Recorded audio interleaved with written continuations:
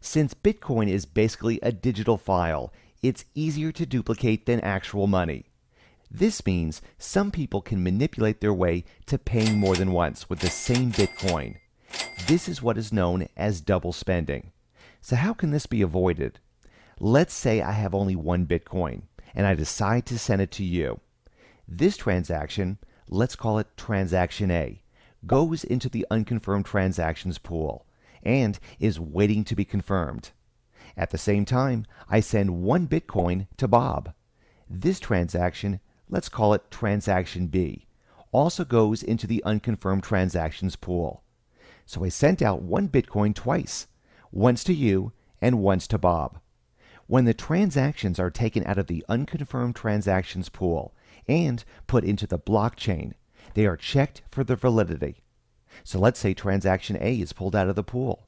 It seems to be valid since I have one Bitcoin and it is inserted into the blockchain. Now, transaction B is pulled out of the pool. It is invalid since I don't have any more Bitcoins to spend and it does not get confirmed. But what if the validation process of A and B happens simultaneously? Meaning, both transactions will show that I have the money needed. Well, in this case, we will have two branches of the blockchain, and a race will begin. The first one to achieve the next block of confirmations will win. If they reach the next block simultaneously as well, we will have another race, and so on.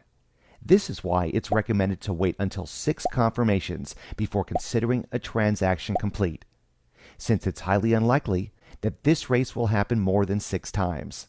So, in the end, we will have a clear winner, and only one transaction will be confirmed. Until this race is resolved, both transactions are in risk of getting canceled. Now you know what double spending is. For more information, visit 99bitcoins.com a non technical blog about Bitcoin and cryptocurrency.